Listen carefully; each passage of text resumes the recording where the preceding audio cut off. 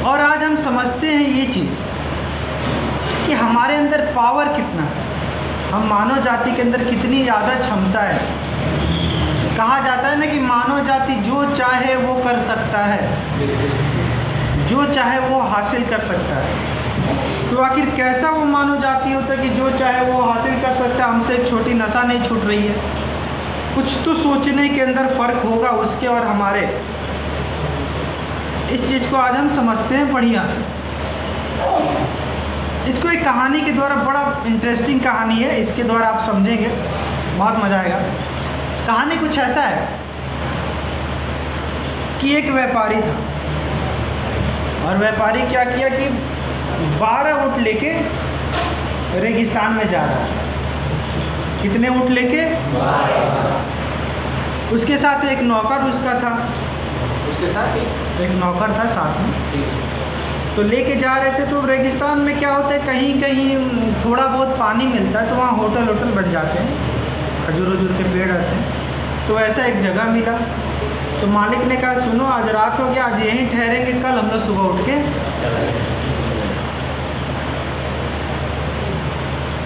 तो मालिक कहा नौकर को ले जाके ऊँट बाँध दो। नौकर उठा नौ, नौकर लेके जाके बांधने के लिए चला गया। नौकर वहाँ पहुँचा जहाँ जानवर बांधा जाता है, वहाँ जाके देखा तो दंग रह गया। ये चीज़ देख के कि वहाँ पे खूटा ग्यारह था और ऊँट उसके पास कितने थे? अब समस्या ये है कि भैया हम कैसे बांधें अब हम क्या करें? हमारे पास बारह ऊँट है और ग्यारह खूटा है। तो ग्यारह ऊँट को तो बाँध दिया, बारहवें ऊँट के साथ क्या करें? बड़ा सोचा। फिर उसके दिमाग में एक आइडिया है, वो झूठ मूठ का एक पत्थर लाया।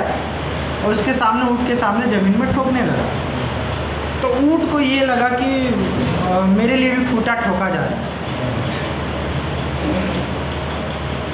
और फिर रस्सी को गोल गोल किया तो ऊँट वहाँ पे बैठ गया बाकी ग्रामों ऊँट की तरह। सुबह उठ सुबह हुआ।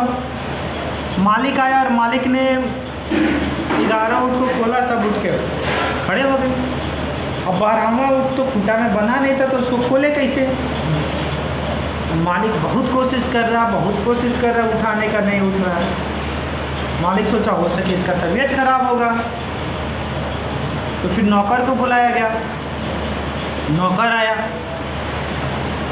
नौकर आने के बाद क्या किया कि वो भी बहुत उठाने की कोशिश कर रहा है लेकिन उठ तो उठ नहीं रहा। है फिर नौकर को बहुत देर के बाद ये दिमाग में आ रहा, इसको तो हम झूठ मूठ का बांधे थे तो फिर उसने झूठ मूठ का खोला और ऊँट वहीं पे खड़ा हो गया। तो कहानी का ये मतलब है कि ये जो बारहवा ऊँट है ना तो हम जो 90 परसेंट लोग होते हैं, उसी बारहवें ऊँट की तरह होते हैं। अगर वो बारहवा ऊँट रात में चाहता तो क्या करता? जहाँ चाहे वहाँ भाग सकता। खुला पूरा मैदान। जो चाहे वो। लेकिन उसको क्या लगा कि वो बधा हुआ। उसी बारहवें ऊँट की तरह हम लोग होते हैं, जो नब्बे प्रतिशत लोग होते हैं, जिनको हमेशा लगता है वो बंधे हुए हैं। अब या हो सकता है हमें हमेशा लगता हो कि हम नशे से बंधे हुए भैया हम इसको नहीं छोड़ सकते। लेकिन नशे से हम कैसे बंधे हुए सही में बंधे हुए नहीं, हम मानसिक रूप से बंधे हुए अगर सौ में नशा मुक्ति के केंद्र के कारण अगर सौ में कोई एक इंसान भी नशा छोड़ सकता है तो क्या वो निन्यानवे लोग नहीं छोड़ सकते हैं? दिक्कत ये है कि वो निन्यानवे लोग चाहते ही नहीं हैं। उनको हमेशा लगता है कि वो बधे हुए हैं। आपको लगता है हम गरीब फैमिली में जन्म लिए तो हम कुछ नहीं कर पाएँगे। तो इसका मतलब क्या हुआ कि आपको ये लग रहा कि हम मानसिक रूप से उसी ऊँट की तरह, लेकिन रियलिटी में बंधे हैं। आप ही के बीच में से कोई बहुत अच्छा करेगा। तो आपको जब भी लगे कि आप ये काम नहीं कर सकते, इसका मतलब यही हुआ कि आप उस बारहवें ऊँट की तरह बंधे हुए हैं। आप लग, लगता है कि नशे से हम ना बाहर निकल पाएँगे, हमसे कुछ नहीं हो पाएगा, हम नहीं कर पाएँगे। तो किसी चीज़ की कमी थोड़े है। हाथ, पैर, आँख, सब कुछ वैसा ही है, जैसे सबका है। हो सके कि सामने वाले से अब ज़्यादा तेज हो। लेकिन हम इस स्थिति में क्यों पहुँचे? क्योंकि हम मानसिक रूप से बधे हैं। हमको लगता है, भैया, इस नशे के अलावा और हम कुछ नहीं कर सकते। नशा पी लेंगे उसके बाद सो जाएँगे। लेकिन आप जिस फ़ील्ड में हैं, उस फ़ील्ड में बहुत लोग हैं जो महारथी हैं। तो जो महारथी हैं, वो आपसे अलग है। नहीं है। बहुत चीज़ों में आपसे वो बहुत पीछे हैं। लेकिन उनको लगता है कि वो महारथी है। वो महारथी हैं आज। अभी मूवी आई है के जी एफ़ करके। के जी एफ़ टू के जी एफ़ वन के जी एफ़ टू आया है। उसके हीरा हीरो जो है बहुत ज़्यादा आदमी की है।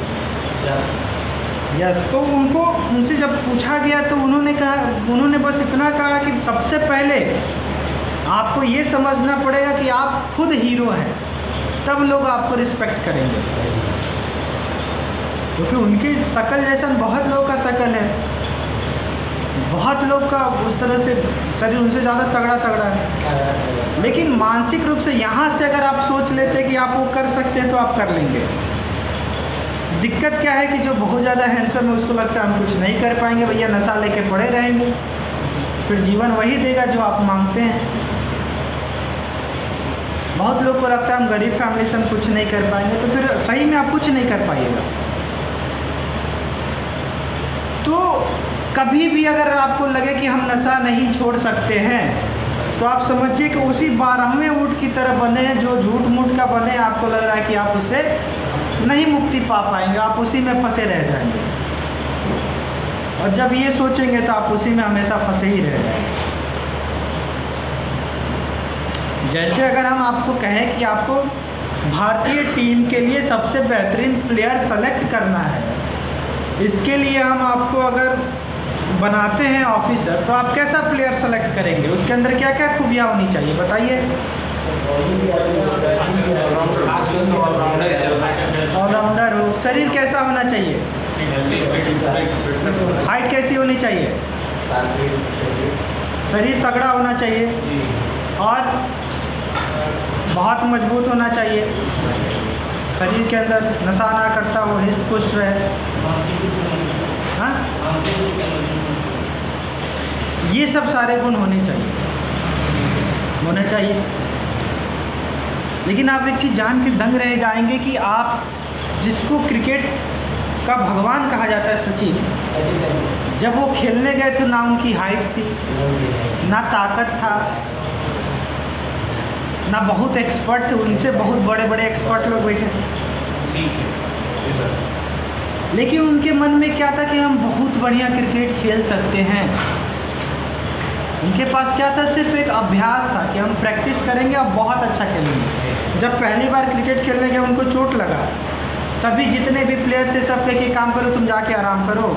अब तुमको चोट लग गया, तुम नहीं खेल पाओगे। उन्होंने कहा, नहीं, हम खेलेंगे। पूरा खून और निकलने लगा था, लेकिन फिर भी उन्होंने कहा कि हम खेलेंगे। इसी कारण आज उनको भगवान कहा जाता है, क्योंकि उनको मानसिक रूप से पता था कि हम ये काम कर सकते उनके अंदर कोई टैलेंट नहीं। सबसे छोटे सबसे यंग दुबले पतले। उस समय के प्लेयर जानते ही कितने हैवी हैवी रहते थे।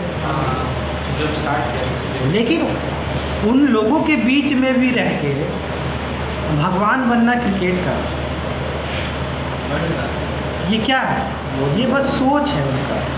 कि उन्होंने सोचा हम कर सकते हैं तो उन्होंने करके तो नशा तो एक छोटी सी चीज़ है। समस्या क्या है कि हमको लगता है भैया कि हम इससे बधे हुए हैं। हम बहुत तरह के बहाने बनाएँगे सर ये समस्या है ये दिक्कत है भाई ऐसे कहता है पिता ऐसे कहता है हमसे नहीं होगा डॉक्टर ये कहा है। बहुत बार ऐसा हुआ है कि डॉक्टर कहता है कि ये पेशेंट नहीं बचेगा। लेकिन जो पेशेंट का विल पावर मज़बूत होता है जी के दिखा देता है। बहुत सारे किस्से कहानी आप सुनेंगे ऐसे। पढ़ते भी होंगे। तो विल पावर स्ट्रांग होना बहुत ज़रूरी है। जिस समय अगर आपका विल पावर स्ट्रांग है कि हाँ हम लाइफ में कर सकते हैं, हमसे कुछ जो चाहें वो कर सकते हैं तो आप कर लेंगे। क्योंकि आज के समय जो आपके फ़ील्ड में एक्सपर्ट है, वो शुरुआत जब किया हुआ तो वो भी नौसिखिया होगा। लेकिन उसने क्या किया प्रयास? करते रहा कोशिश करते रहा वो एक्सपर्ट हो गया। तो नशा छोड़ना कोई बड़ी बात नहीं है। अगर आप चाहेंगे तो छोड़ सकते हैं। बस उस माइंडसेट से आपको बाहर निकलना है कि आप बारहों में हैं। सही है। जिस दिन अगर आप निकल गए आपसे भी ज़्यादा ज़्यादा नशा करने वाले लोग छोड़े हैं। बहुत अच्छा लाइफ एंजॉय कर रहे हैं। लेकिन क्या है ना कि हमको इसी में मज़ा आने लगता है। भैया कोई दबाव घर पे नहीं है। आराम से पड़े रहो कहीं खंडहर कहीं नाले में पड़े रहो।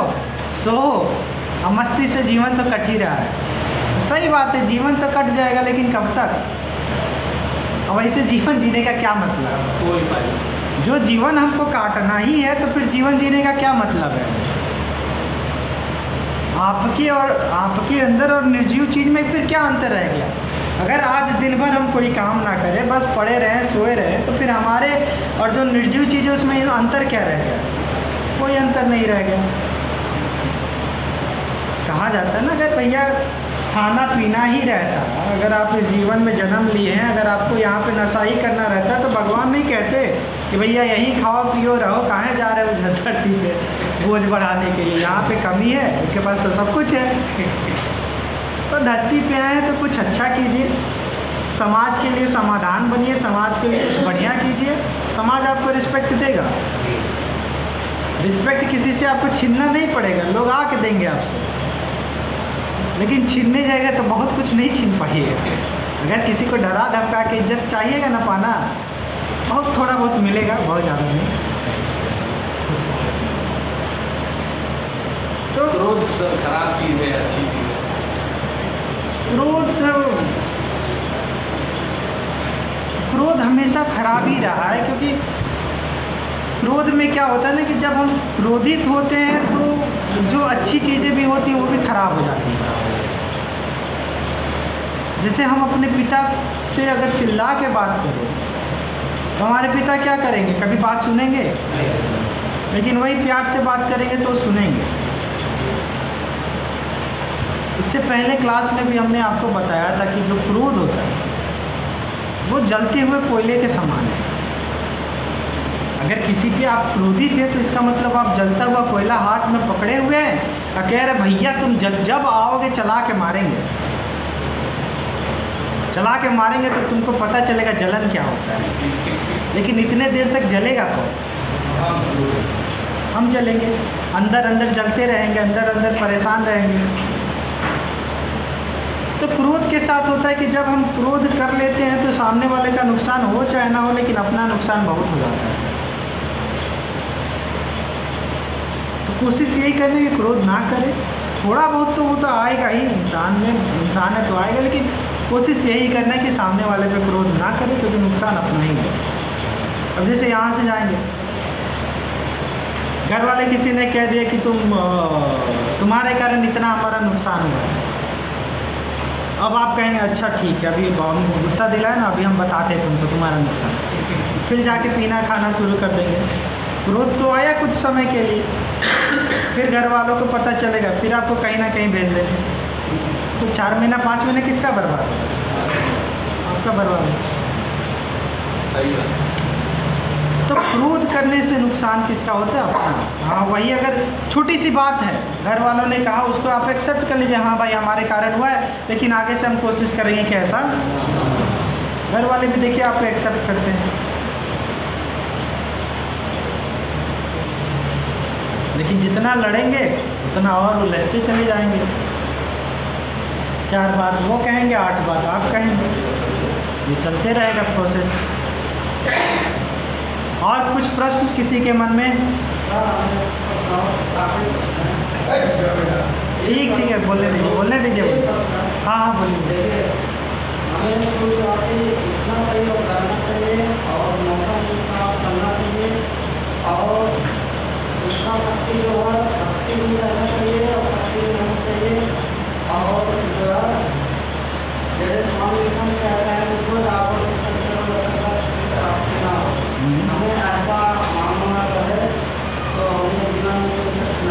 हम्म, सही कह रहे हैं। और कुछ आप लोग प्रश्न पूछेंगे? कुछ मन में विचार चल रहे होता है। कुछ आप लोग के मन में कोई विचार आ रहे हो तो पूछिए, फिर आगे हम लोग बात करें।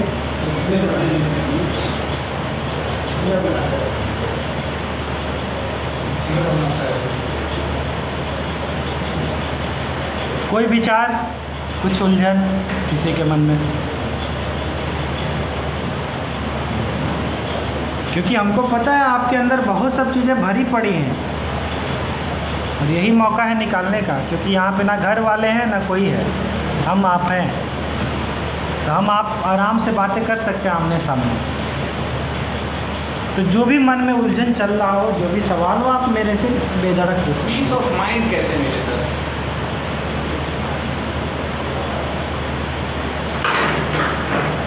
पीस ऑफ़ माइंड ठीक है पीस ऑफ़ माइंड आपको तभी मिलेगा जब दिल से आपकी इच्छा हो कोई काम करने की, जो आपका दिल कहे। और वही काम अगर आप करेंगे ना तो आपको पीस ऑफ़ माइंड जिसमें आपको बहुत मज़ा है। जैसे क्या है कि किसी को पढ़ाने में मज़ा आता है, किसी को बात करने में मज़ा आता है किसी को क्रिकेट खेलने में मज़ा आता है। तो अगर किसी को आ, किसी किसी को बिज़नेस करने में मज़ा आता है तो वो चीज़ ऐसा होता है ना कि जब आप बहुत थके हारे हो बहुत ज़्यादा जब आप थके रहे हो फिर भी लोग कहें कि आपको ये काम करना है आप खड़े हो जाए हाँ भैया ये काम हम कर सकते हैं जिसमें हमको मज़ा आता है। तब जीवन में आपके हमेशा सुकून रहेगा। लेकिन क्या हो कि जब आप दूसरे के थोपे हुए काम करेंगे ना कि आपको मन कर रहा है डॉक्टर बनने का आप घर वाले इंजीनियर कह रहे थे आप इंजीनियर बन रहे तो वो कभी भी मन हमेशा बेचैन रहेगा। विचलित रहेगा। विचलित रहेगा। शांति मन के अंदर से निकल सकता है और शांति तभी मिलेगा जब आप वो काम करें जिसमें आपको मज़ा आए। क्योंकि लाइफ में हम सारा काम किस लिए करते हैं? क्योंकि हमको मज़ा मिले इंजॉयमेंट मिले। जी। इसीलिए तो हम काम करते हैं। तो हर इंसान का कुछ ना कुछ रहता है। कुछ ना कुछ चीज़ ऐसी होती है जिसमें आपको बहुत अच्छा लगता है, वो काम कीजिए। जैसे अगर आप टीचर हैं तो गरीब बच्चों को पढ़ाइए, देखिए कितना सुकून मिलता है। डॉक्टर हैं तो कभी कभी गरीब बच्चों, गरीब लोगों का मुफ़्त में इलाज कीजिए, एक दिन निकाल के। तो अगर आप अपने लिए ही जीते रहेंगे अगर जीवन आप अपने लिए बस अपने बारे में सोचते चले जाएँगे तो क्या होगा कि हमेशा बेचैन रहेंगे। हाँ इससे याद आया मुझे एक चीज़ सर। मैंने संस्कृत में पढ़ा था। एक्चुअली स्कूल में आठवीं तक संस्कृत पढ़ी थी। एक चीज़ पढ़ा था स्वभाव ही दुरति क्रमा। नेचर कांट चेंज यानी हमारे कंट्रोल में तो कुछ है नहीं। नेचर के कंट्रोल में। तो लाइफ में हमेशा क्या है कि हमको देने की कोशिश करनी है।